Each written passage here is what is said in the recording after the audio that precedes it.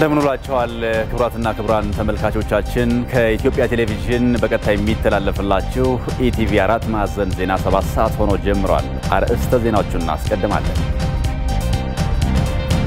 የአዲስ አበባ ከተማ አስተዳደር እስከ ታችኛው መዋቅር ያሉ የአገልግሎት አሰጣጥና ብልሹ አሰራር ችግሮችን በአፋጣኝ እንዲፈታም ጠቅላይ ሚኒስትር አብይ አህመድ አቅጣጫ አስቀመጡ።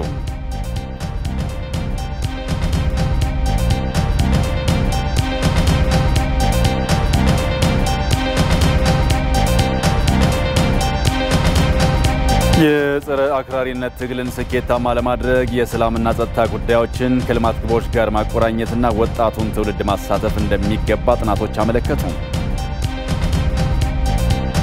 ከውጭ የመረጃ ምንጭ በፓኪስታን እየተከሰተ ያለው ከፍተኛ ሙቀት የሀገሪቱን ዜጎች አኗኗር እየፈተነ ስለመሆኑ ተገልጿል።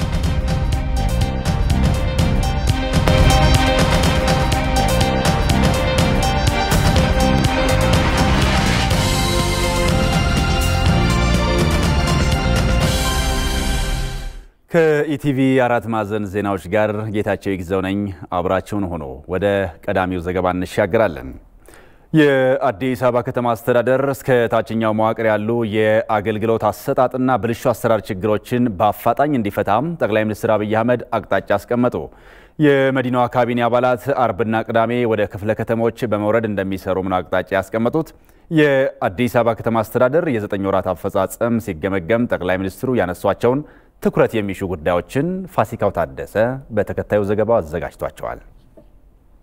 የኢትዮጵያ ብሎም የአፍሪካ መዲናዋ አዲስ አበባ ባለፉት ሶስት ዓመታት በበርካታ ዘርፎች በለውጥ ምዕራፍ አልፋለች። የለውጥ ስራዎቹ ግን ለመኖር ብቻ ሳይሆን ሞቶ ለመቀበርም ጉቦ የሚጠይቁ አካላትን ማስቆም አልቻለም። ሌብነቱ ስር ሰዷል። የመሬት ምዝበራ፣ የአገልግሎት አሰጣጥ ችግሮቹም ሊቀረፉ አልቻሉም። ይህም ህዝቡን ለምሬት ዳርጎታል ይላሉ ጠቅላይ ሚኒስትር አብይ አህመድ። በግድ ዕዳ እንደወደቀባችሁ ነው ከተማውን መምራት የምታስቡት። ፈልጋችሁ ጠይቃችሁ መርጣችሁ የምትሰሩ ስራ እንደሆነ የምታስቡት። መሬት አሁንም ይቸበቸባል አዲስ አበባ ውስጥ የሚል ከፍተኛ ስሞታ አለ። ማንም ይቸበቸበው መሬት። ከመሬት ውጪ በሰርቪስም ሌብነት አለ። አዲስ አበባ ውስጥ ለመኖር ሳይሆን ሰው ሲሞትበት ለማስቀበርም ጉቦ የሚከፍልበት ከተማ ነው።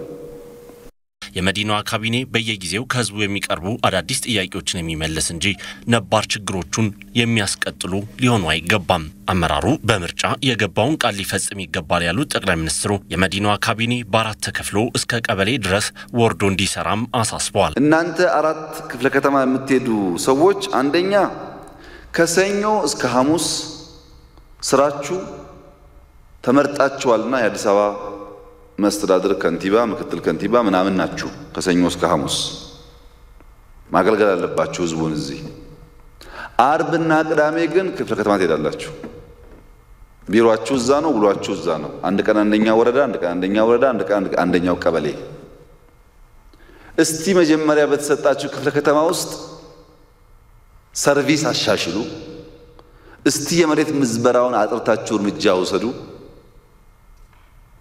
እስቲ ሌቦችና መልካም ሰራተኞች ለይታችሁ መልካሞችን አሳድጉ፣ መጥፎቹን ደግሞ አግልሉ።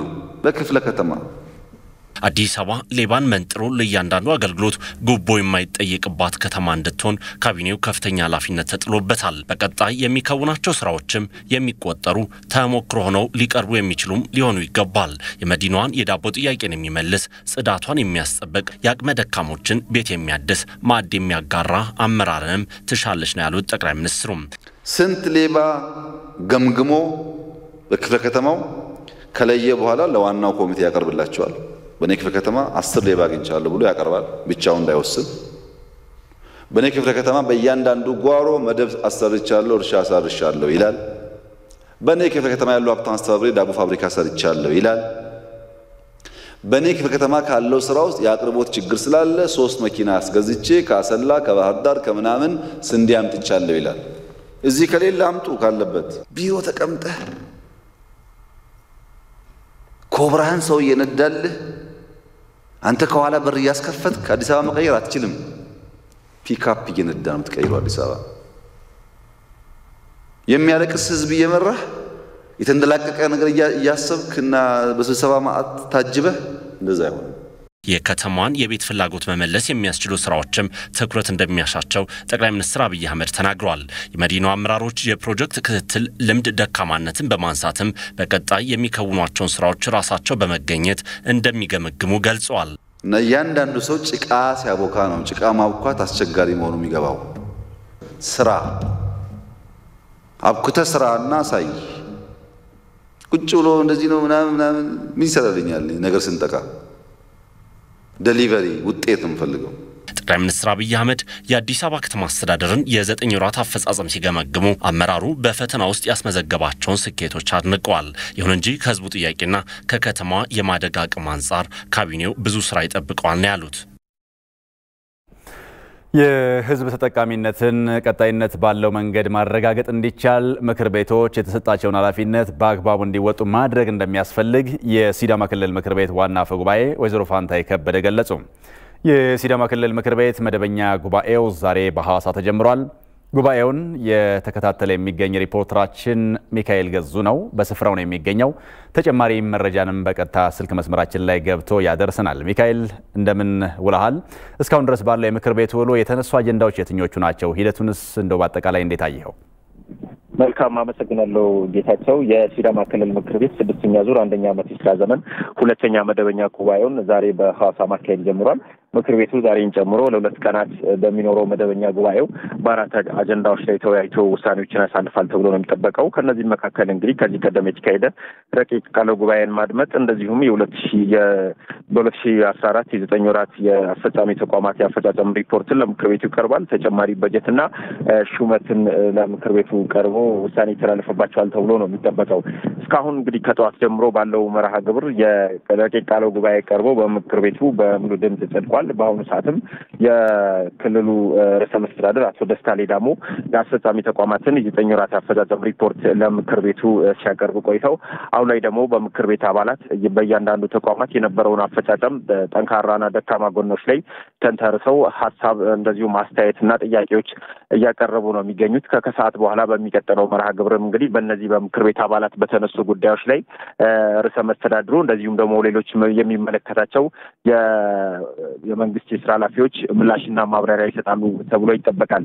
እንግዲህ ጠዋት የምክር ቤቱን መደበኛ ጉባኤ በንግግር ያስጀመሩት የክልሉ ምክር ቤት ዋና አፈ ጉባኤ ወይዘሮ ፋንታ የከበደ ናቸው። እሳቸውን በዋነኛነት ካነሷቸው ትኩረት አድርገው በንግግራቸው ካነሷቸው ጉዳዮች መካከል የምክር ቤት አባላት እንግዲህ በዋነኛነት የተሰጣቸውን ኃላፊነት በአግባቡ ሲወጡ የህዝብ ተጠቃሚነትን ማረጋገጥ ይቻላል። ስለዚህ የምክር ቤት አባላት በዚህ ደረጃ ውጤታማ እንዲሆኑ ሊደረጉ በሚገባቸው ጉዳዮች ዙሪያ በባለፉት ጊዜያቶች ለምክር ቤት አባላት በተለይም በአሰራር ስርዓት ደንብ እንደዚሁም የክትትልና በተቋማት ክትትልና ግምገማ እንደዚሁም ግብረ መልስ አሰጣጥ ላይ ከዛ ባሻገርም ረቂቅ ህጎች እንደዚሁም ደንብና መመሪያዎች ሲወጡ አተገባበር ላይ ያተኮረ ስልጠና ለምክር ቤት አባላት ባለፉት ጊዜያቶች ሲሰጡ መቆየታቸውን ለምክር ቤቱ ባደረጉት ንግግር ላይ ገልጸዋል። እንግዲህ የምክር ቤት አባላትም በቀጣይ በሚሰሯቸው ስራዎች ላይም የአስፈጻሚ ተቋማት ላይ በሚያደርጉት ክትትል የድክመት ያለባቸውን በግልጽ በቀጥታ መተቸት እንደዚሁም ደግሞ ጠንካራ አፈጻጸም ያላቸውን ደግሞ ማበረታታትና መደገፍ ከተቻለ በመንግስት ደረጃ የሚቀመጡ እቅዶችን ለማሳካት ትልቅ ድርሻ ይኖረዋል የሚል ሀሳብ አንስተዋል። እንግዲህ ጌታቸው ከከሰዓት በኋላ በዚህ ጉዳይ ላይ ምክር ቤቱ የሚያደርጋቸውን ውይይቶች ተከታትለን በምሽት ለተመልካቾቻችን መረጃዎችን የምናደርስ ይሆናል። ሚካኤል ከሐዋሳ ላደረስከን መረጃ ከልብ አመሰግናለሁ። ወደ ቀጣዩ ዘገባ እንሻገራለን። የጸረ አክራሪነት ትግልን ስኬታማ ለማድረግ የሰላምና ጸጥታ ጉዳዮችን ከልማት ግቦች ጋር ማቆራኘትና ወጣቱን ትውልድ ማሳተፍ እንደሚገባ መንገዶች የተሻሉ መሆናቸውንም ጥናቶች አመለከቱ። ሀገራት አክራሪነትን ለመዋጋት የተለዩ መንገዶችን ይጠቀማሉ። ሪፖርተራችን ኮሰን ብርሃኑ ደግሞ አውስትራሊያ ችግሩን ለመከላከል የሄደችበትን ተሞክሮ መነሻ በማድረግ ተከታዩን ዘገባ አዘጋጅቷል። ዓለም አክራሪነትን አሊያም ጽንፈኝነትን በስጋትነት ፈርጃ ማስተናገድና ችግሩ የሚወልደውን ገፈት መጋፈጥ ከጀመረች ሰነባብታለች። የተለያዩ ሀገራት ችግሩን ለመፍታት የሰጡት ትኩረት ግን ትልቅ ሚናን ስለመጫወቱ ነው በዘርፉ የተደረጉ በርካታ ጥናቶች የሚያሳዩት። በዓለም አቀፍ ደረጃ አክራሪነትን ለመታገል በውጤታማነት አዎንታን ካገኙ መንገዶች ዋነኛው ታዲያ የሰላምና ጸጥታ እርምጃዎችን ከልማት እቅዶች ጋር አቆራኝቶ መተግበር ስለመሆኑ ነው ጥናቶች ከተጨባጭ ልምዶች በመነሳት የሚጠቁሙት። በአንድ ሀገር አክራሪ ግለሰቦች ወይም ቡድኖች የሚፈጠሩት አክራሪነትን የሚሰብኩና ተጽዕኖ ፈጣሪ በሆኑ ግለሰቦች ወይም ቡድኖች፣ በትልቁ ምስል ደግሞ በከባቢያዊ ፖለቲካና ማህበራዊ ችግሮች እንደሆነ ይቀመጣል። የአክራሪነት ጽንሰ ሀሳብ በተለያዩ ማህበራዊ ልዩነቶች ውስጥ ሊፈጠር ይችላል። የቆዳ ቀለምን፣ ብሔርን ወይም ጎሳን፣ የፖለቲካ አስተሳሰብን እንዲሁም ሃይማኖትን መሰረት ያደረጉ የአክራሪነት ዝንባኔዎች ደግሞ በዓለም ታሪክ ለሰው ልጅ ሕይወት መጥፋትና ግዙፍ ኪሳራን ካደረሱ ጸያፍ ተሞክሮች መካከል ይቀመጣሉ። እንደ ምሳሌ አውስትራሊያና አክራሪነትን ማየት ይቻላል። ሉላዊነት ብቻውን ለአክራሪ ግለሰቦችና ቡድኖች መፈጠር ዛሬ ትልቅ ሚናን በሚጫወትባት ዓለም የአውስትራሊያ ወጣቶችም ለዚህ ክስተት ተጋላጭ መሆናቸው አይቀሬ ነበር። እንደ አውሮፓውያኑ አቆጣጠር ከ2001 ጀምሮ እየጨመረ የመጣው የአክራሪነት ወይም የጽንፈኝነት ተጽዕኖን በአውስትራሊያ ሀገረ መንግስት ግንባታ ሊያሳርፍ ከሚችለው ተጽዕኖ አንጻር የሀገሬው መንግስት ፈጣን እርምጃዎችን ለመውሰድ ተገዷል። በአውስትራሊያ በጽንፈኝነት ወይም አክራሪነት ወንጀል ክስ ቀርቦባቸው ፍርድ ካገኙት መካከል እስከ 2014 ዓ ም ብቻ 10 በመቶ የሚሆኑት ከ18 እስከ 25 ዓመት የሚገኙ ወጣቶች ናቸው።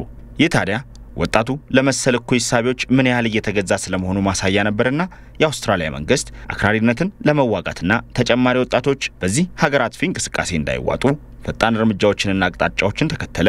ከእነዚህ እርምጃዎች መካከልም ወጣቱን ክፍል ያማከሉ የሰላምና ጸጥታ ስራዎችን ከተጨባጭ ልማት እቅዶች ጋር ተቀበረ።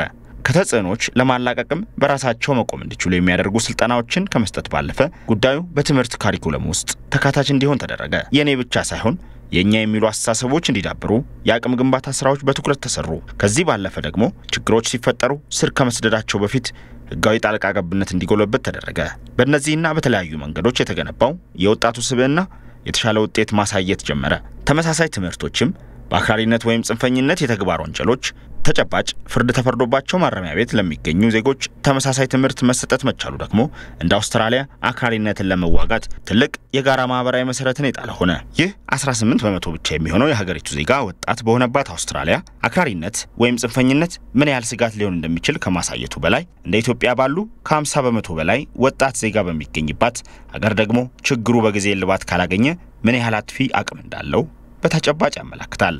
አክራሪነት ወይም ጽንፈኝነት በማደግ ላይ ያሉ ሀገራትን መሰረታዊ ልማት አቅጣጫ የሚያስት ከፍተኛና ተከታታይነት ያለው ምጣኔ ሀብታዊ ቀውሶችን የሚፈጥር እንዲሁም ኢንቨስትመንትና ቱሪዝምን እጅጉን የሚያቆረቁዝ አስተሳሰብ ነው። እሳቤው በድርጊት ሲገለጽ ደግሞ እንደነ ሴንትራል አፍሪካ ሪፐብሊክ፣ ደቡብ ሱዳን፣ ሶማሊያ፣ ታይላንድ የመሳሰሉ ሀገራት ለገቡበት የግጭት አዙሪት አክራሪነት ወይም ጽንፈኝነት ግዙፉን ድርሻ ይዛል። በዘመነ በይነ መረብና ማህበራዊ ትስስር ገጾች በበዙበት ዓለም ተጽዕኗቸው ከአክራሪነትና ጽንፈኝነት አንጻር ሲታይ ደግሞ እጅጉን የከፋ ይሆናል። በእነዚህ ተጽዕኖች ውስጥ ሊወድቅና በተጽዕኖ ፈጣሪዎች አክራሪ አስተሳሰብ ሊመራ የሚችለውም የወጣቱ ክፍል በኢትዮጵያ ካለው ብዛት አንጻር ታዲያ ስጋት ሊሆን የሚችልበትን ያህል አክራሪነትን መዋጋት የሚችል ግዙፍ ኃይል እንደሆነም ጥናቶች ይጠቁማሉ። አክራሪነትን አሊያም ጽንፈኝነትን ለመዋጋት ታዲያ ኢትዮጵያ ከተለያዩ ሀገራት ልትማራቸው የሚገቡ ጉዳዮች አሉ ከተባለ ወጣቱን ማስተማርና በስነ ምግባር ማነጽ እንዲሁም በሕግ የበላይነት የሚያምን ትውልድ መፍጠር የመጀመሪያ ይሆናል። በዘላቂነት ችግሩን ለመከላከል ታዲያ እንደ ዓለም ተሞክሮ የልማትና የእድገት አቅጣጫዎችን ወጣቱን ያማከሉ በማድረግ ከሰላምና ጸጥታው ጋር ጎን ለጎን ማስኬድ መሰረታዊ ጉዳይ ይሆናል። ከዚህ ባለፈም የኢትዮጵያውያን የጋራ እሴት የሆነው መከባበርን በማጎልበት ለባህላዊ ግጭት አፈጣጥ ዘዴና ስብዕና ግንባታ ትኩረት ሊሰጥ እንደሚገባ እሙን ነው። በሃይማኖት ውስጥ ተሸሽገው ህዝብን ከህዝብ ጋር ለማጋጨት እየሰሩ ባሉ የጥፋት ኃይሎች ላይ መንግስት አስተማሪ እርምጃ እንዲወስድ በምዕራብ ጉጂ ዞን የገላና ወረዳ የእስልምና እምነት ተከታዮች ጠየቁ። የገላና ወረዳ መንግስት communication የላከውን ዘገባ ሪፖርተራችን ዋለልይ ታምር ያቀርበዋል። አላሁ አክበር 1443ኛው የኢድ አልፈጥር በዓል በሰላትና በተለያዩ መርሃ ግብሮች በታሰበበት ወቅት በጎንደርና በተለያዩ አካባቢዎች የጥፋት ኃይሎች በሃይማኖት ምክንያት የፈጸሙትን ጥፋት አውግዘውታል። ሼክ ሰይፈዲን ተማም የገላና ወረዳ የቢላል መስጅድ ኢማም ናቸው። ህዝበ ሙስሊሙ ወሩን ሙሉ ለሀገር ሰላምና ለህዝብ አንድነት በሰላት አላህን ሲማጸን መቆየቱን ገልጸው ሰሞኑን ግን በጎንደርና በተለያዩ አካባቢዎች የጥፋት ኃይሎች የግል ፍላጎታቸውን ለማሳካት የፈጸሙት እኩይ የጥፋት ሴራ አሳዛኝና የትኛውንም የእምነት ተቋም የማይወክል ድርጊት መሆኑን ተናግረዋል። በአማራ ክልል ጎንደር ላይ የተደረገ በጣም የሰው ልጅ አእምሮ የማይፈቅደው አስቀያሚ ድርጊት የተፈጸመ ነገር አለ። ይህን ነገር እናወግዛለን። ይህን እንደ አንድ ሙስሊም እንደ አንድ የእምነት ተቋም እስላም ማለት ሰላም ነው፣ ትርጉሙ ሰላም ነው። በአጥፊዎች ላይ መንግስት የሚወስደውን እርምጃ እንዲያጠናክርና ህዝቡም ወንጀለኛውን አሳልፎ በመስጠት የድርሻውን መወጣት እንዳለበትም አስገንዝበዋል። በየትኛውም ክልል ይሁን በየትኛው አካባቢ ይሁን አጥፊዎችን መንግስት ለህግ ማቅረብ አለበት። ከመንግስት የምንጠብቀው ብዙ ነገር አለ። ሼክ ሰይፈዲን ህዝበ ሙስሊሙ በጾም ወቅት ያሳየውን መልካም ስነ ምግባር አጠናክሮ መቀጠል አለበትም ነው ያሉት። የገላና ወረዳ ቶሬ ከተማ ነዋሪዎችና የእስልምና እምነት ተከታዮቹ አቶ ህኮ ሀሰንና አቶ አማኑ ኑራም ሰሞኑን በጥፋት ቡድኖች የደረሰውን ጥፋት አውግዘዋል። አመንታ ደው ጎዳቸው ዳኒ ሰባብ ሰባ አመንታ ዳኒ ክርስቲያን እስላም ጀለኒ ወልቦ ሶፍ ከንዴማኒ ሃይማኖትን ሽፋን በማድረግ ወይንም ብሔርን ከብሔር እንዲሁም ሃይማኖትን ከሃይማኖት እስላምና ክርስቲያን በማለት እየከፋፈሉ ግጭት ለመፍጠር የሚሰሩ ኃይሎች ዛሬም አልተሳካላቸውም፣ ነገም አይሳካላቸውም። እምነት የግል ነው። ማንኛውም ሰው በፈለገው ማመን ይችላል። ነገር ግን የራሱ ሃይማኖት እንዲከበርለት የሚፈልግ ሰው የሌሎቹንም ሃይማኖት ማክበር አለበት። ለምሳሌ እኔ ሙስሊም ነኝ። የክርስትና ሃይማኖት ተከታዮችን እምነት ማክበር ይጠበቅብኛል። አሁን ላይ እየተደረገ ያለው ሃይማኖትን ከሃይማኖት ለማጋጨት የሚደረግ ስለሆነ በጣም የሚያሳፈር ነው።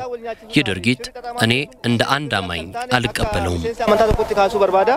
የእምነቱ ተከታዮች እንዳሉትም በሃይማኖት ውስጥ ተሸሽገው ህዝብን ከህዝብ ጋር ለማባላት እየሰሩ ባሉ የጥፋት ኃይሎች ላይ መንግስት አስተማሪ እርምጃ መውሰድ አለበት።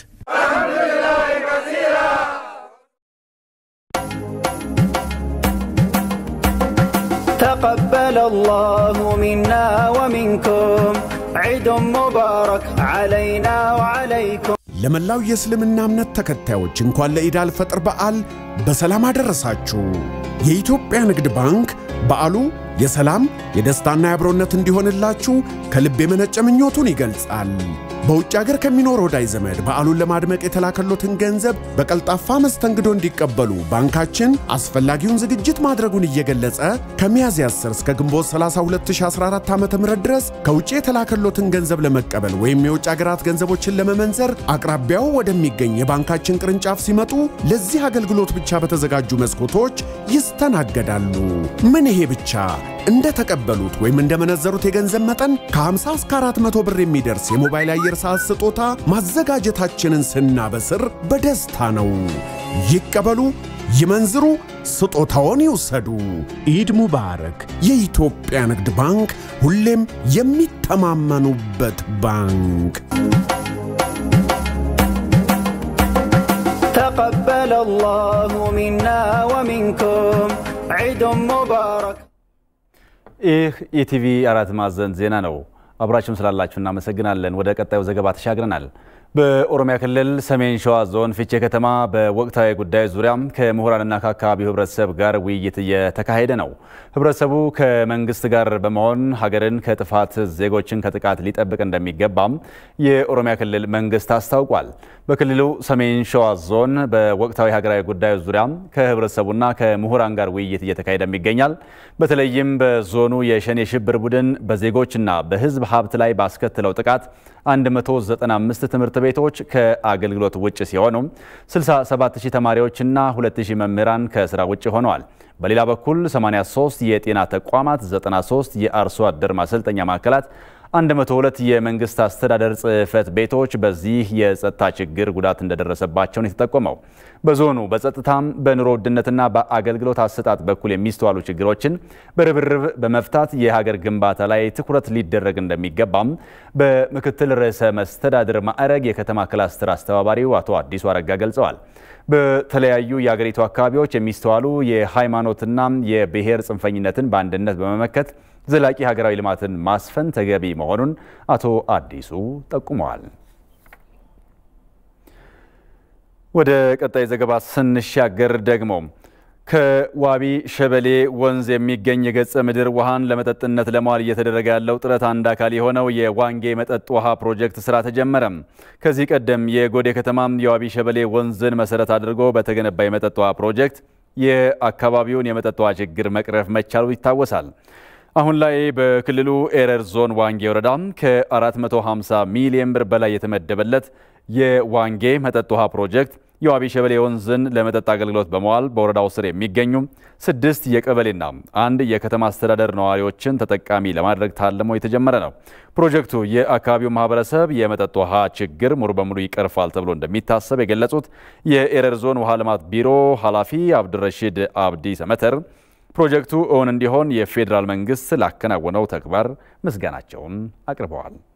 aad iyo aad ayaan mashruucan usoo dhaweynaynaa in badanna waxaan uga mahad celinaynaa cid kasta oo ku lug lahayd የዋንጌ ወረዳ ከኤረር ዞን በከፍተኛ ደረጃ የመጠጥ ውሃ ችግር ያለበት ወረዳ ነው። የዋቢ ሸበሌ ወንዝ በወረዳው አጠገብ የሚያልፍ ቢሆንም የአካባቢው ምቹ አለመሆን ህብረተሰቡ ከሌሎች አካባቢዎች የውሃ አማራጭ እንዲፈልግ አድርጎታል። አሁን ላይ የዋንጌ መጠጥ ውሃ ፕሮጀክት ተጀምሯል። ፕሮጀክቱ ተገንብቶ ሲጠናቀቅ የህብረተሰቡን ችግር ሙሉ ለሙሉ ይቀርፋል ብለን እናምናለን። የፌዴራል መንግስት የፕሮጀክቱን በጀት በመመደብ የህብረተሰቡን ችግር ለመቅረፍ የሄደበት ርቀት የሚያበረታታና የሚመሰገን ነው።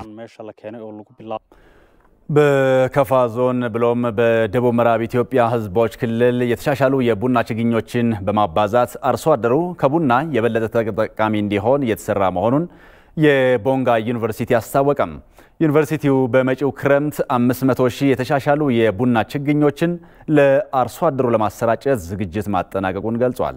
ዮሐንስ ፍስሐ አርሶ አደር ቆጭቶ ኬቶ በከፋ ዞን ጊምቦ ወረዳ ምችት ቀበሌ ነዋሪ ነው። የአርሶ አደሩ ህይወት ደግሞ ከሌሎች ግብርና ስራዎች በተጓዳኝ የጫካ ቡና ላይ መሰረት ያደረገ ነው። ነገር ግን ለዘመናት ምርት ሲሰጣቸው የቆየው ይህ የጫካ ቡና ተክል አሁን ላይ በእርጅና ሳቢያ የሚሰጠው ምርት ቀንሷል። ከዚህ ከቤት እንግዲህ ያው የተወሰነ ቡና ላይ አንድ 18 ኩምታል ምናምን እገኛለሁ። አሁን ወደ ዝቅ ብሎ ወደ ሁለት ኩምታል ሁለት ተኩል ነው። ከዚህ በላይ አይሰጥም። አሁን ትቷል። ይሄ ለምንድን ነው? እድሜ እርዝሞ በቃ እንደ ሰው ረጀ ማለት ነው። አርሶ አደር ቆጭቶም የተሻሻሉ ምርታማ የቡና ችግኞችን ማግኘት ቢቻል ቀድሞ ይገኝ የነበረውን ጥቅም መመለስ እንደሚቻል ይገልጻል። በዚህ ሶስት አመት እና ሁለት አመት ውስጥ ለእኛ ጥቅም የሚሰጥ ቡና ችግኝ ቢመጣ እኔ በራሴ በኩል እደስታለሁ የሚል ደስታና አላማ ነው ያለኝ።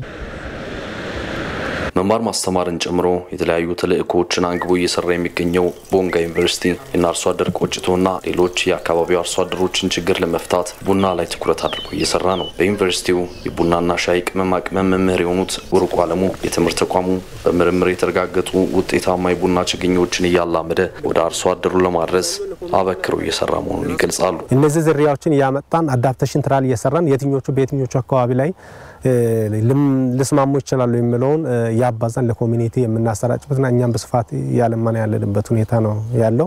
በማህበረሰብ አገልግሎትም እነዚህ የተዘጋጁትን ወደ community ድረስ በመውሰድ ለእያንዳንዱ ማህበረሰብ የቡና ችግኝ አሰራጭን በጓሮ ላይ በስፋት አልምቶ የአርሶ አደሩ ህይወት እንዲቀየር፣ የማህበረሰቡ ህይወት እንዲቀየር፣ ምርትና ምርታማነቱ እንዲያድግና ብሎም በሀገር ኢኮኖሚ ላይ ጉልህ ሚና እንዲጫወት ጭምር እየሰራ ነው ያለ ነው። በሌላ በኩል ቡና ለሀገር ኢኮኖሚ ያለውን ፋይዳ የበለጠ በመገንዘብ ዩኒቨርሲቲው በቡና ሳይንስ የመጀመሪያ ዲግሪ ትምህርት መስጠት መጀመሩንም የቦንጋ ዩኒቨርሲቲ ፕሬዚዳንት ዶክተር ጴጥሮስ ወልደ ጊዮርጊስ ይናገራሉ። በሳይንስ ላይ የተመሰረተ አመራረት፣ አስተራረስ እንዲኖር በዚህ ዙሪያ ላይ ካላስተማርን ፋይዳው ምንድን ነው? ሰው ምን እናድርግ? እስቲ በዚህ ዙሪያ ላይ ያሉትን አንዳንድ curriculum ኦችን እናጠናቅር የሚል ነገር አስበን በዚያ ላይ መስራት ጀመርን ማለት ነው። external reviewer ኦችን ጋበዝናቸው። internal reviewer ኦችን እኛ ግቢ ውስጥ ያሉትን review ያደረጉ አሁን ቡና ከምርምር ባለፈ በመጀመሪያ ዲግሪ coffee science department ወደ 37 ልጆች መርጠው በዚህ እንማራለን፣ ሀገራችንን እናገለግላለን ብለው በዚህ እያስተማር እንገኛለን። አንዱ ትልቁ ሳክሰሳችን ቡና ላይ በመጀመሪያ ዲግሪ መስጠት መጀመራችን ነው። የቦንጋ ዩኒቨርሲቲ እንግዲህ በዚህ መልኩ የተሻሻሉ የቡና ዝርያዎችን እያባዛ ለአካባቢው ማህበረሰብ ማሰራጨት ጎን ለጎን በቅጥር ግቢውም እንግዲህ ለግንባታ ምቹ ባልሆነ 61.5 ሄክታር መሬት ላይም እነዚህን የተሻሻሉ የቡና ችግኞችን ተክሏል። በዚህም ባለፈው ዓመት ብቻ ዩኒቨርሲቲው ወደ 90 ኩንታል ምርት ማግኘትም ችሏል። ለኢቲቪ ዘገባ ዮሐንስ ፍሳ ከቦንጋ።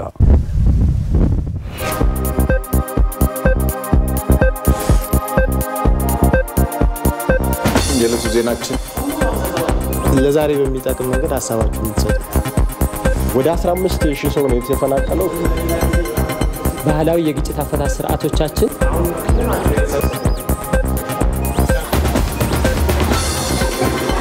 የኑሮ ውድነት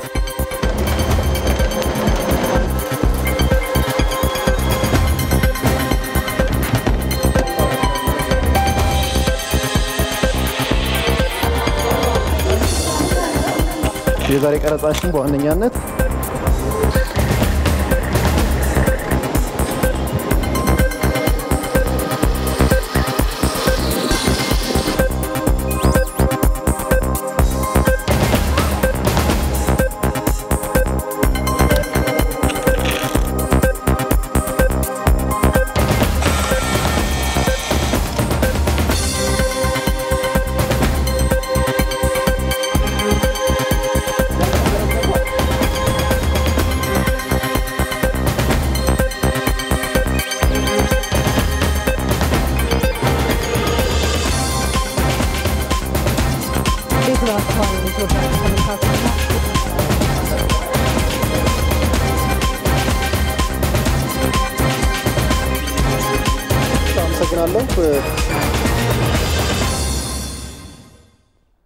በሰሜን ሸዋ ዞን መንዝ ጌራ ምድር ወረዳ በ44 ሚሊዮን ብር የተገነባው የጎደቤ መስኖ ፕሮጀክት ግንባታው ተጠናቋል። በቀጣይ አገልግሎት መስጠት የሚጀምረው የመስኖ ፕሮጀክቱ እስከ 120 ሄክታር መሬት የማልማት አቅም እንዳለው ተነግሯል። አስማረ ብርሃኑ በተከታዩ ዘገባው ይቃኘዋል።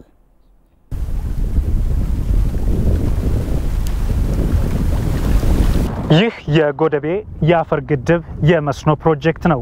ይህ የመስኖ ፕሮጀክት የተገነባው በአማራ ብሔራዊ ክልላዊ መንግስት በሰሜን ሸዋ ዞን በመንዝ ጌራ ምድር ወረዳ ነው። የመስኖ ፕሮጀክቱ ሙሉ በሙሉ እንዲህ ተገንብቶ እስከሚጠናቀቅ ድረስ 44 ሚሊዮን ብር ወጪ የወጣበት ሲሆን በአሁኑ ሰዓት ግንባታው ሙሉ በሙሉ ተጠናቆ አገልግሎት ወደ መስጠት ደረጃ ላይ ደርሷል።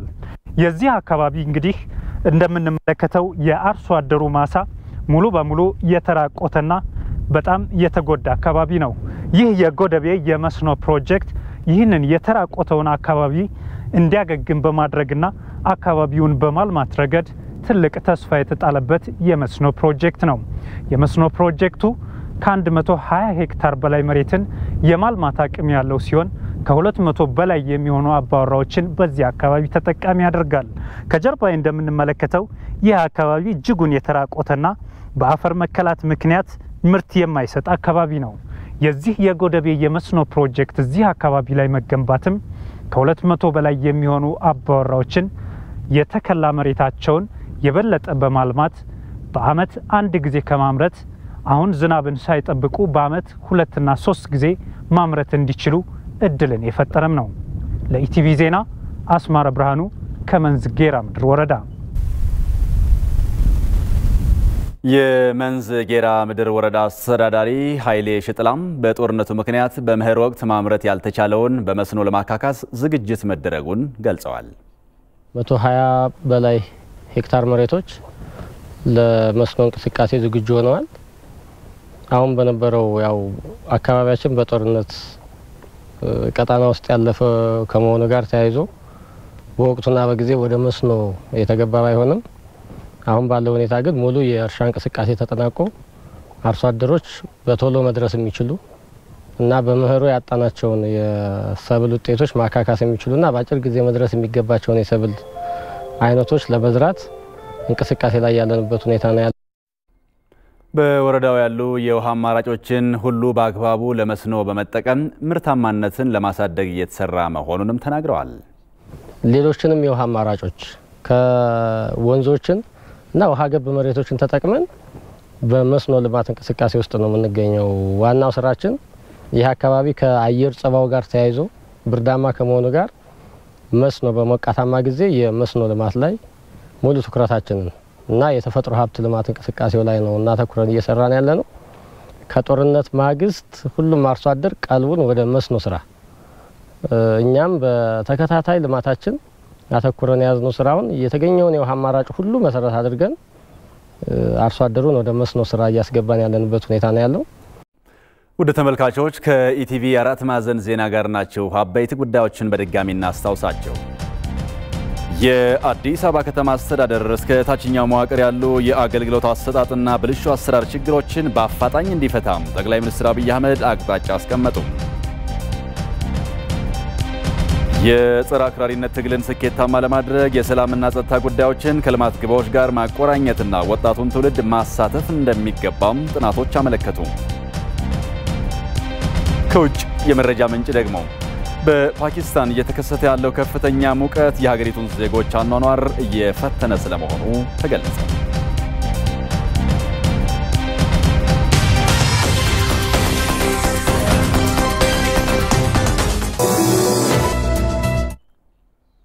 የተፈጥሮ ማዳበሪያን በስፋት በማዘጋጀትና ጥቅም ላይ በማዋል ምርትና ምርታማነትን ለመጨመር እየሰሩ መሆኑን በምስራቅ ጎጃም ዞን የማቻከል ወረዳ አርሶ አደሮች ገለጹ። በወረዳው ሁሉም አርሶ አደሮች ቢያንስ ሩብ ሄክታር ማሳቸውን በተፈጥሮ ማዳበሪያ እንዲያለሙ ታቅዶ እየተሰራ መሆኑም ተጠቁሟል። ይሄ ነው ዋጋቸው። በምስራቅ ጎጃም ዞን ማቻከል ወረዳ ነዋሪ የሆነው አርሶ አደር እኔው ታደለ በዚህ ዓመት የተፈጠረው የሰው ሰራሽ ማዳበሪያ እጥረትና የዋጋ ጭማሪ በግብርና ስራው ላይ ሊፈጥር የሚችለውን ተጽዕኖ ለማቃለል የተፈጥሮ ማዳበሪያን በስፋት እያዘጋጀ ነው። ከዚህ በፊትም የተፈጥሮ ማዳበሪያን የማዘጋጀት ልምድ እንዳለው የሚያነሳው አርሶ አደር እኔው በዚህ ዓመት ግን መጠኑን ጨምሮ ከአንድ ሄክታር በላይ ማሳ የሚሸፍን የተፈጥሮ ማዳበሪያ እያዘጋጀ መሆኑንም ይናገራል። እዚህ ደጃችን አካባቢ ያለው ወርቅ ነው። የከብቶች ተረፈ ምርት ወርቅ ነው። ከተለያየ ነገር ገለባውን በእጃችን ነው። የከብቶች ምበት በእጃችን ያንን በባለሙያ እገዛ እየሰራ እንገኛለን። አሁንም ወደፊትም ለመስራት ያው ዝግጁ ነን ብዬ ነው የማስብ። የማቻከል ወረዳ ምክትል ዋና አስተዳዳሪ አቶ ሳምሩ ዘውዴ ለወረዳው በዚህ ዓመት 72 ሺህ ኩንታል ሰው ሰራሽ ማዳበሪያ እንደሚያስፈልግና እስካሁን የቀረበው ግን ከ29 ሺህ ኩንታል እንደማይበልጥ ተናግረዋል። የማዳበሪያ እጥረቱ በምርት ላይ ተጽዕኖ እንዳይፈጥርም ሁሉም አርሶ አደሮች ቢያንስ ሩብ ሄክታር ማሳቸውን በተፈጥሮ ማዳበሪያ ተጠቅመው እንዲያመርቱ እየተሰራ ነው ብለዋል። የምንፈልገው ከመቶ ሜትር ኪዩብ ያላነሰ ነው። ስለዚህ አሁን ላይ ያመረት ነው እና ወደ ማሳ ያስገባ ነው 23 ሺህ ሜትር ኪዩብ በላይ ነው። አሁን እንደገና ያንን ወደ ማሳ ወጥቷል። ተጨማሪ አሁንም ከመሬት በታች ኮምፖስትን እያዘጋጀን እንገኛለን። የአማራ ክልል ግብርና ቢሮ ምክትል ኃላፊ አቶ ቃል ኪዳን ሽፈራው የአማራ ክልል በዚህ ዓመት ከሚያስፈልገው 8.2 ሚሊዮን ኩንታል ማዳበሪያ ውስጥ 4.7 ሚሊዮን የሚሆነው እንደሚቀርብ ተናግረዋል። አሁን ላይ 1.4 ሚሊዮን ኩንታል ማዳበሪያ ለክልሉ መቅረቡንም ገልጸዋል። በቅንጅት መስራት ከተቻለ የተፈጠረውን የማዳበሪያ እጥረት ማካካስ ይቻላልም ብለዋል። ማዳበሪያ ባለመምጣቱ ምክንያት የሚመጣ የምርት መቀነስ እዚህ ክልል ላይ እንዳይኖር አማራጮችን እያሳየን ነው። አምና ለጥራጥሬ እንጠቀም እንደሆነ ማቆም አለብን። ጥራጥሬ ህያው ማዳበሪያ እዚሁ ክልላችን ላይ እንደ ሀገር የሚመረት ስለሆነ ሙሉ አሽቶ መጠቀም ትችላለህ። completely በጣም ጥሩ የሚባል የተፈጥሮ ማዳበሪያ ነው። ስለዚህ እንዲህ አድርገን በአግባቡ የኮንትሮባንድ ችግሮች ማዳበሪያ ላይ ይኖራሉ። ያደረ ማዳበሪያ እኮ በየአመቱ ይኖረናል እያስገባንም። ስለዚህ ምንም አይነት የማዳበሪያ ብክነት በማይኖር መጠን መሬት ላለው ባለሙያችን እየመዘገበ እንዲሰጥ እያደረግን በጥንቃቄ ነገሮችን ማየት ከቻል እርግጠኝነት እናልፈዋለን። በአማራ ክልል በ2014-2015 የምርት ዘመን 4.8 ሚሊዮን ሄክታር ማሳን በዘር በመሸፈን 143 ሚሊዮን ኩንታል ምርት ለመሰብሰብም ታቅዷል። ለኢቲቪ ይህነው ዋጋቸው ከባህር ዳር።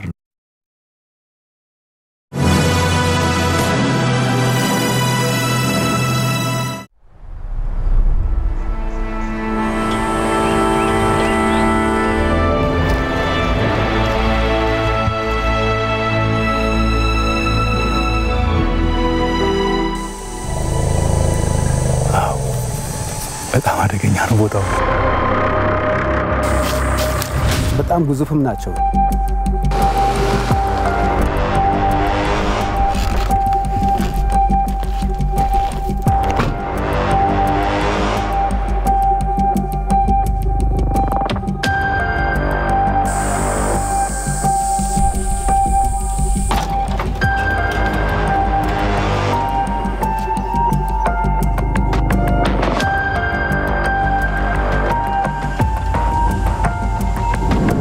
ምን ሊያጋጥም እንደሚችል አይታወቅም።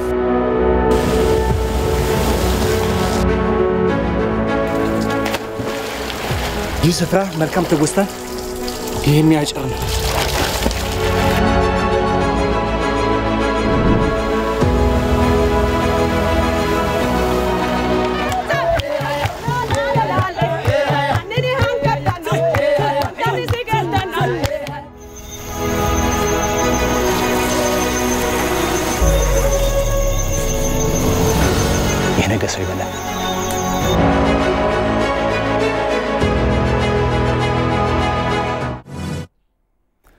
ህብረተሰቡ የመመገቢያ ጊዜያቸው ያለፈባቸውን የታሸጉ የምግብ ምርቶችን ባለመጠቀም ጤናው እንዲጠብቅ የቤንሻንጉል ጉሙዝ ክልል ጤና ቢሮ ጥሪ አቀረበ። ቢሮው በአሶሳ ከተማ በተለያዩ የንግድ ቤቶች የመመገቢያ ጊዜያቸው ያለፈባቸውን የታሸጉ የምግብ አይነቶች በመለየት የማስወገድ ስራ እያከናወነ መሆኑን አስታውቋል። በቤንሻንጉል ጉሙዝ ክልል ጤና ቢሮ የምግብና የመድኃኒት ቁጥጥር ዳይሬክተር አቶ ፍቃዱ ባንዞ ለኢቲቪ እንደገለጹት ቢሮው በክልሉ የተለያዩ አካባቢዎች የመመገቢያ ጊዜያቸው ያለፈባቸው ምርቶች በህብረተሰቡ ላይ የጤና ችግር ከማስከተላቸው በፊት በግብረ ኃይል የታገዘ የማስወገድ ስራ እየሰራ መሆኑን ገልጸዋል። እስከ ስድስት ወር ባለ ጊዜ ውስጥ እንደዚሁ ከግብረ ኃይል ጋር በመሆን ብዙ ጊዜያቸው ያለፈባቸው ምርቶች ብዙ ሰብስበናል ማለት ይቻላል። ይሄኛው ለየት ባለ መልኩ ነው። ሙሉ በሙሉ አንድ ቦታ ላይ የተከዘ ነው። ቀደም ሲል የነበረው ግን በየሱቆች እያንዳንዷ ሱቅ ውስጥ ስንገባ ማአት ጊዜ ያለፈባቸው ምርቶች የማሰባሰብ ስራ ስናከናወን ነበር። ሪፖርተራችን ጀማል አህመድ እንደዘገበው የንግዱ ማህበረሰብ እጁ ላይ የሚገኙ የመመገቢያ ጊዜያቸው ያለፈባቸውን የታሸጉ የምግብ አይነቶችን ለቢሮው በማሳወቅ ምርቶቹን ለማስወገድ እየተደረገ ያለውን ዘመቻ እያገዘ መሆኑን ገልጸዋል። ህብረተሰቡ የመጠቀሚያ ጊዜያቸው ያላለፈባቸውን የታሸጉ ምርቶችን አጣርቶ በመግዛትና በመጠቀም ጤናውን እንዲጠብቅም ዳይሬክተሩ ጥሪያቸውን አቅርበዋል። ከማህበረሰቡ የሚጠበቀው ምንድን ነው? ማንኛው የምግብ ምርቶች በሚገዙበት ወቅት ጊዜ ያለፍበት መሆኑና አለመሆኑ መጀመሪያ ማረጋገጥ አለባቸው። ማንበብ ባይችሉም እንኳን ወይ ልጆቻቸው ወይ ከጎረቤት የሚያነብ ሰው ካለ expired መሆኑን አለመሆኑ ያን የማረጋገጥ ግዴታ አለባቸው ማህበረሰቡ። expire ሲያደርግ ደግሞ አቅራቢያ ለሚገኙ ፖሊስ አካላት ሊሆን ይችላል፣ ተቆጣጣሪ ባለሙያ ሊሆን ይችላል፣ ለሚመለከቱ አካላት የማሳወቅ ስራና ጥቆማ መስጠት አንዱ ከነሱ ይጠበቃል። አዳጊ በሆነው ፍላጎት ልክ እየተራመድን ነው ማለት ይቻላል ወይ? አቅርቦቱና ስርጭቱ የተመጣጠነና ለሀገሪቱ የሚበቃ ያህል ነው ብለን ነው የምናስገባው። የነዳጅ የለም ወይም ደግሞ ቤንዚን የለም የሚሉ ጽሁፎችን መመልከት እየተለመደ መጥቷል። ለአዲስ አበባ ተጭኖ ሐዋሳ ላይ ወይንም ዲላ ላይ ይርጋ ጮፌ ላይ የሚያዝ መኪና አለ። የኢትዮጵያ ነዳጅ አቅራቢ ድርጅት ምንድን ነው እየሰራ ያለው?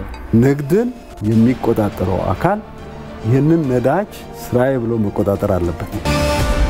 የሚመለከታችሁ አካላት በሚገባችሁ ልክ ስላልሰራችሁ ይሄ ችግር እየተፈጠረ ነው የሚል recommendations ትሰጣላችሁ? ይህ ነዳጅ እንዴት በኪዮስክ ይሸጣል?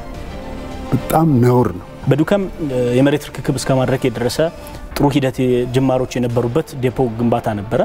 አሁን ግን እንደተቋረጠ ነው የሰማ ነው። ከተማ አስተዳደሩ ለረዥም ጊዜ ቦታውን ሳትጠቀሙ አቆያችሁ ብሎ ለዶሮ እርባታ ያው ከፍሎ ወሰደ።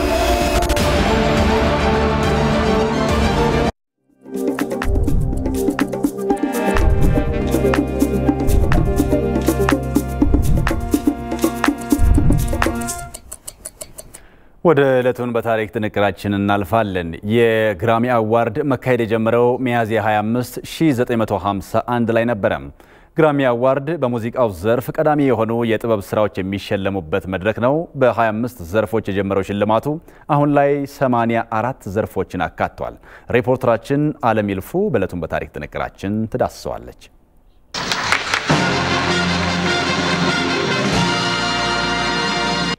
ግራሞፎን ወይም የግራሚ አዋርድ በአሜሪካ በየዓመቱ የሚካሄድ ሲሆን በሙዚቃው ዘርፍ የተሻለ መርታን ላሳዩ የጥበብ ሰዎች ሽልማት የሚበረከትበት ትልቅ መድረክ ነው።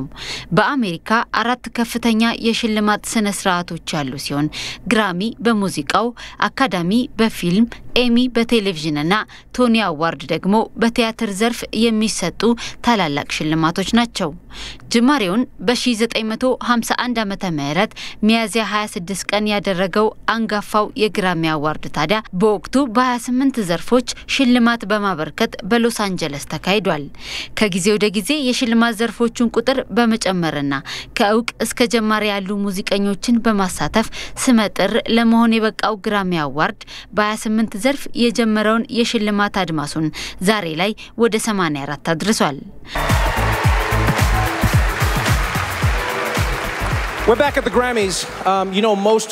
በ13ኛው ዙር በ1971 ዓ ም በቴሌቪዥን ቀጥታ ስርጭት ለመተላለፍ የበቃው የግራሚ አዋርድ ዛሬ ላይ ዓለም በጉጉት ከሚጠብቃቸውና ተወዳጅ ከሆኑ ዝግጅቶች መካከል ዋነኛው ተጠቃሽ ለመሆን በቅቷል። በግራሚ አዋርድ ታሪክ ጆርጅ ሶልቲ ኦቴሎ በአጠቃላይ 32 ሽልማቶችን በመውሰድ ተቀዳሚውን ስፍራ የያዘ ሲሆን ቢዮንሴ ደግሞ 28 ሽልማቶችን በማግኘት ተከታዩን ስፍራ ይዛለች።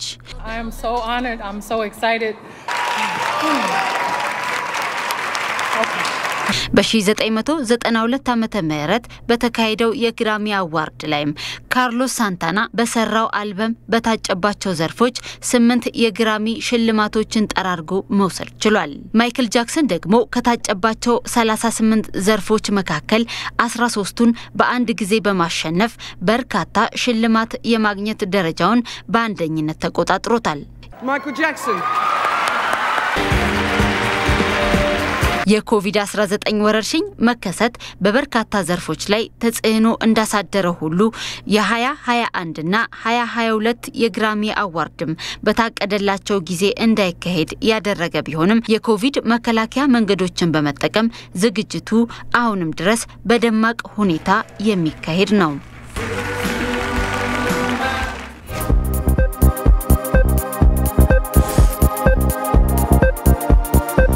የዕለቱ ዜናችን ለዛሬ በሚጠቅም መንገድ ሀሳባችሁ የምትሰጡ ወደ 15 ሺህ ሰው ነው የተፈናቀለው። ባህላዊ የግጭት አፈታት ስርዓቶቻችን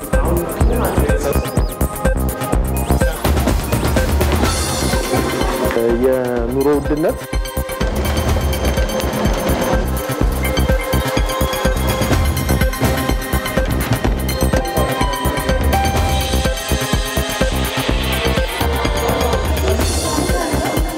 የዛሬ ቀረጻችን በዋነኛነት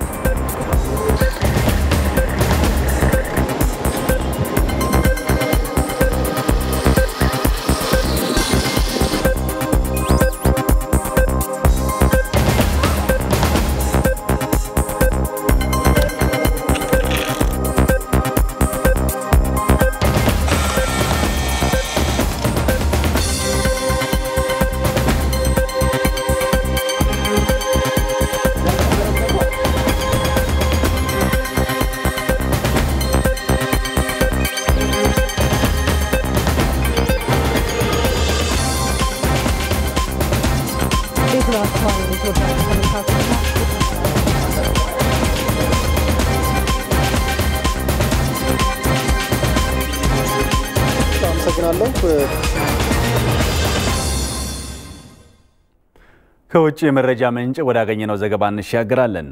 በፓኪስታን እየተከሰተ ያለው ከፍተኛ ሙቀት የሀገሪቱን ዜጎች አኗኗር እየፈተነ መሆኑ ተገለጸ። በአንዳንድ የሀገሪቱ አካባቢዎች ከ50 ዲግሪ ሴንቲግሬድ በላይ መድረሱንም የተገለጸ ሲሆን የሰብል ምርትን ከመጉዳት ባሻገር የበረዶ ግግር መቅለጥን አስከትሎ ጎርፍ እንዳያስከትልም ተሰግቷል። የቲአርቲ ወርልድ ዘገባን ሳራ ሳህለ ስላሴ ታቀርበዋለች። In scorching heat, Wajid Khan examines his wheat crop. የደቡብ ኤስያ ሀገራት የሆኑት ህንድና ፓኪስታን በአየር ንብረት ለውጥ ምክንያት ከፍተኛ ሙቀትን በማስተናገድ ላይ ይገኛሉ። በዚህም ለኤሌክትሪክ ኃይል መቆራረጥና የሰብል ምርታማነት ማነስ እየተዳረጉ ይገኛል። ይህ ደግሞ አስቀድሞም ቢሆን ዓለም ላይ በተለያዩ ምክንያቶች ላሻቀበው የምግብ ምርት አቅርቦት እጥረት አባባሽ ሆኗል። በዓለም ሁለተኛ የስንዴ አምራች ሀገር የሆነችው ህንድም ሆነ ጎረቤቷ ፓኪስታን እስከ 50 ዲግሪ ሴንቲግሬድ በሚደርስ የሙቀት መጠን መጠቃታቸውን ተከትሎም ካለፈው የሰብል ምርት ዘመን አንጻር ባልተጠበቀ መልኩ ያነሰ ምርት እንዲሰበስቡ እያደረገ ነው። በሀገራቱ ባለው ተለዋዋጭ የአየር ሁኔታ ምክንያትም ሰብላቸው ማፍራት ባለበት መጠን እያፈራ አለመሆኑን የፓኪስታን አርሶ አደሮች ይናገራሉ። በዚህ ዓመት የተከሰተው ከፍተኛ ሙቀት የስንዴ ሰብሉ ፈጥኖ ያለ ጊዜው እንዲደርስ አድርጓል። ነገር ግን በተገቢው መጠን አድጎ አይደለም የደረሰው። ካለፈው አንጻርም የምንሰበስበው ምርት አነስተኛ ነው የሚሆነው።